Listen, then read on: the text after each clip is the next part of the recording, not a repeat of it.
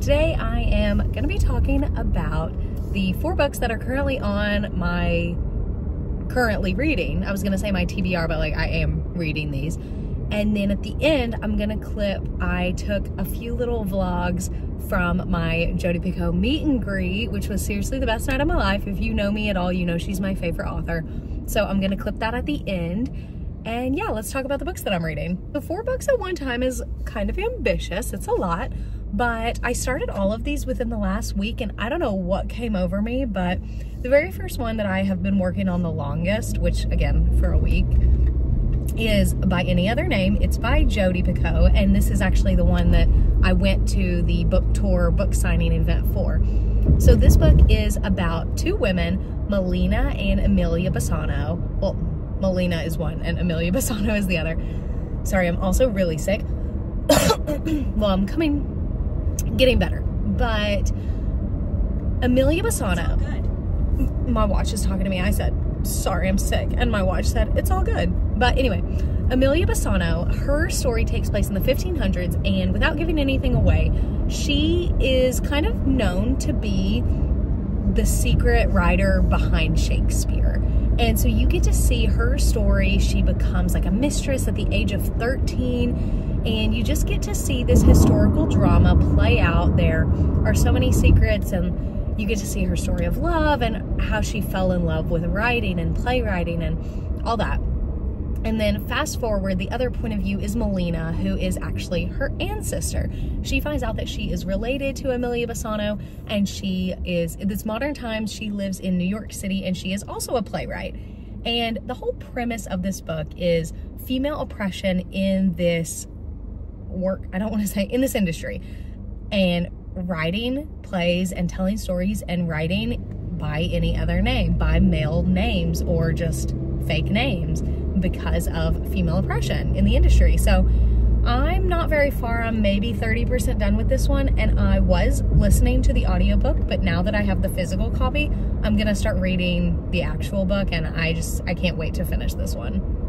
The next one that I started is Fourth Wing. I have had a physical copy for so long and I have been avoiding this book because I had such high hopes for ACOTAR and I got pretty deep into ACOTAR. I read the first three books like back to back to back and I DNF'd probably halfway through book three. I just like wasn't feeling it. It just wasn't it for me and I just had high hopes, you know? And so I have been avoiding Fourth Wing, but I'm very excited to jump back into the fantasy realm. So I finally started Fourth Wing. I have a physical copy and I have an ebook that I got from Kindle Unlimited just because like I wanted to read it at night too. I'm only about 15% done and I barely know what it's about, but it is a fantasy book about dragons and dragon riders and there's a school of war and it's following our main character who is a woman or a girl, a young young woman, and she is in the school. She is in like the dragon riding trainer half of the school, even though that's not what her passion is.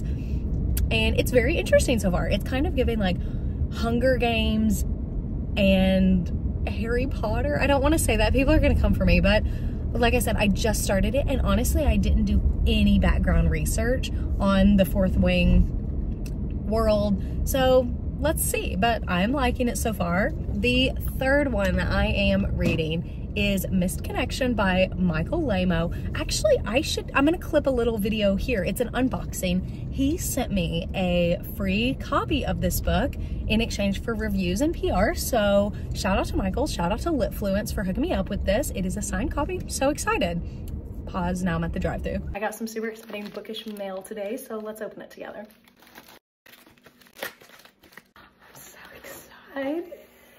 This is Missed Connection by Michael Laimo. So pumped for this book. It is an erotic thriller. It is brand new.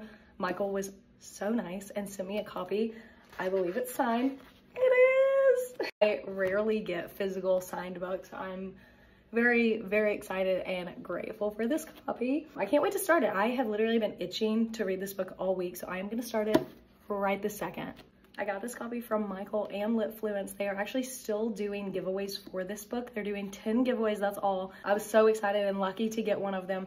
So if you want the opportunity to read a digital copy of this book, Litfluence is doing signups, I think, until the end of this weekend.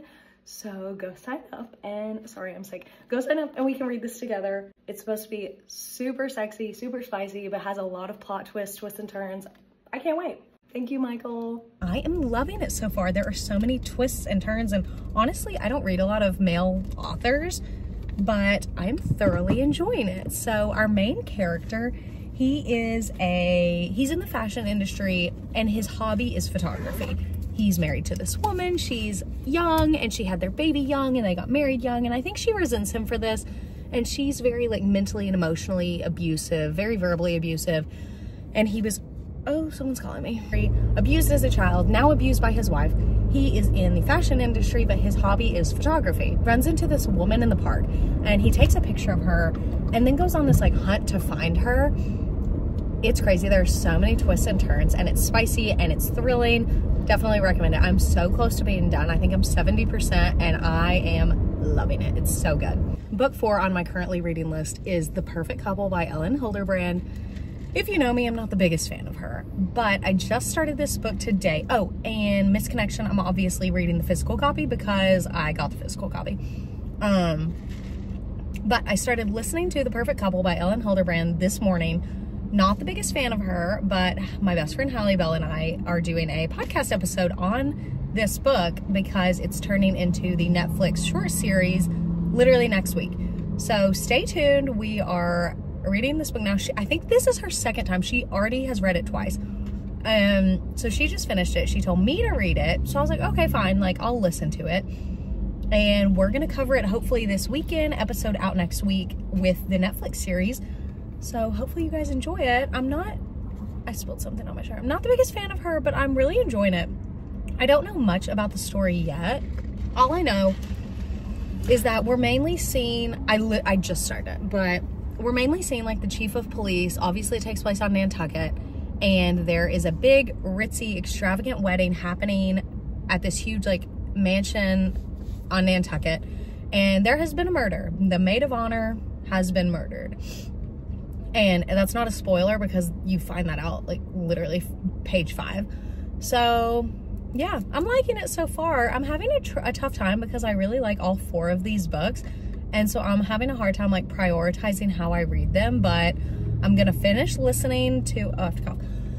I'm gonna finish listening to The Perfect Couple. I'm gonna finish reading Missed Connection because those are the ones I like absolutely have to finish soon. Then by any other name. And then I'm gonna finish Fourth Wing. Fourth Wing is not a priority to me whatsoever. It's just everywhere. Like I, everyone talks about it and I needed a new fantasy book. So there it is. That was my list. That's what I'm currently reading and listening to. I just told Hallie Bell on the podcast last time, I said I'm all caught up on my books, which is weird. Like I usually have like one that I'm almost done with, but then I've already like started listening to another or something like that. And now that was like seriously two days ago. And now I have like four. so say lovey. But I am enjoying all of them. I can't wait let you guys know how I like them and stay tuned for the podcast episode on The Perfect Couple by Elin Hilderbrand. Thank you for watching. Thanks for watching my unboxing video. Shout out again to Michael and Litfluence for giving me a copy. And here comes my Jodi Picoult meet and greet. Bye! Come with me to meet my favorite, and I cannot stress this enough, my favorite author of all time. I'm on my way to meet Jodi Picoult. I was forced to read this book, this physical book, in high school. I think I read it when I was 14 or 15 it changed my life. Seriously, it made me a reader. It made me the person I am today, the book wannabe influencer, the book reviewer, the book lover that I am today. And I am just so freaking honored to be able to meet Jodi Picoult. So I am on my way right now. I'm almost, I'm in Miami, but I'm almost there to see her. She's doing a meet and greet and a book signing for her brand new novel. It's called By Any Other Name. This book is a historical fiction that takes place like in the 1500s, Shakespeare era, and present day, and it's about ancestors, like modern day girl and then her ancestor from the 1500s. And it's a play on Shakespeare and female icons in writing, and how there was this woman named Amelia who was the real writer of Shakespeare. I can't go too deep into it. I'm only like 20 30% done with the audiobook, but I pick up the physical book tonight, my signed copy. Uh, I just like I cannot stress enough how excited and grateful and blessed I am. Like she is seriously my favorite author and this day I have been I've had these tickets for months now. Literally since the day she announced it I I pre-ordered I did the first thing I could. She is my like click immediately buy no questions asked author. Anything Jodi Picoult writes I'm reading and I'm loving. That's it she is actually the reason I have part of this tattoo it's bees and honeycomb so yeah, let's go meet Jodi Picoult, my favorite, favorite, favorite author. I have to go back to my maps now, so stay tuned. Here we go. I just got here. I am so, so, so excited. This is at a church and I'm wearing like a very nipply shirt and I'm starting to feel a little bad. Whoops. Shout out Books and Books for hosting us. How freaking pretty. I love Miami. Obviously it's something. It's fine. As women in this country, we are watching our rights being stripped away and we're fighting for them. And I think we're also living in a time where through book ban. It's so dark, but I am coming from such a high that I just really wanted to record this right now. She's so amazing. Jodi Picoult is the most amazing author in the world. If you have not read any of her books, I recommend you start today. Her co-host was Brad Meltzer. I did purchase this book because, you know, support. And he was there and he wrote, For Michelle, make magic. And then he said, that'll make sense when you read the book. So I'm excited. I can't wait. Um, I did tell her that my tattoo was halfway inspired by one of her books and I held up the line, so I'm sorry to everybody else, but she took a picture of us on her personal cell phone. How cool. I can't wait to see it. Like, I hope she like posted because I'd love to, I love to have that photo. Um, but yeah, if you haven't been to a book signing, I highly recommend it. It was such an incredible experience listening to her talk about historical fiction and female oppression and politics and Taylor Swift, like we literally, she talked, we, as if I was talking to her. She talked about everything. She is the nicest human in the entire world. I am just so blessed that I got to do this.